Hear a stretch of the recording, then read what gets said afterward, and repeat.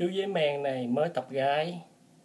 Hôm nay là ngày 19 tháng 6 2016 vào lúc 8 giờ 30 tối, Chủ nhật.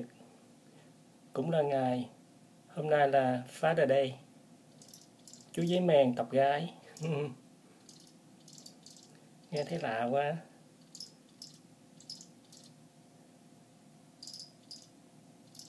Ok, xin chào tạm biệt chú dế mèn phiêu lưu ký.